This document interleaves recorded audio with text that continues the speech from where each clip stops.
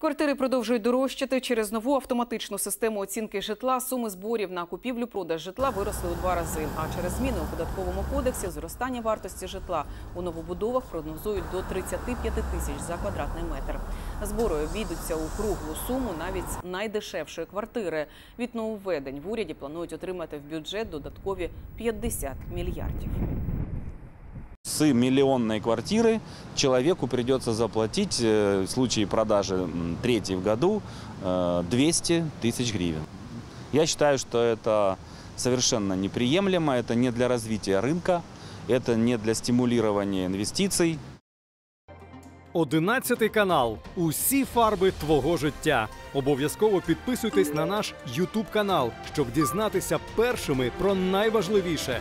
Слухайте, дивіться, коментуйте.